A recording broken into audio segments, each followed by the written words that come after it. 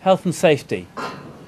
That's almost something that could put you off doing Open Farm Sunday, but in fact, it's something that we do all the time risk assessment, and with Open Farm Sunday, it needn't be a problem on your farm.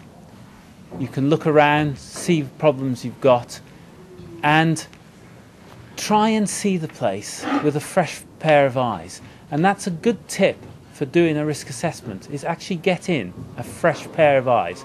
A friend, a neighbour, poss- well, I would say definitely someone that isn't involved with farming because we farmers can actually not see some of the risks. But someone from outside the industry or fresh to your farm will see the hazards and then you can do something about it. You can make sure that you have a wonderfully safe Open Farm Sunday. If you need help in a paper form of doing your risk assessment, there's a really good one in the Host Farms Farmers Handbook that's provided by Leaf.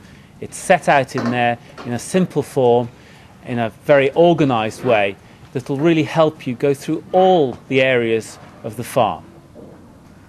As well as the risk assessment, another thing you must do is contact your insurer. They will want to know that you are holding Open Farm Sunday.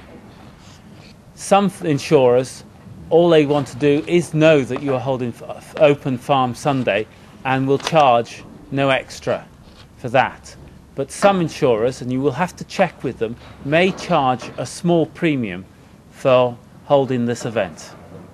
So, for your risk assessment, informing the insurer, be prepared. Do it early, make sure it's done well, and that'll give you peace of mind on the day and be able to enjoy the day and relax and actually show people what you're doing on your farm.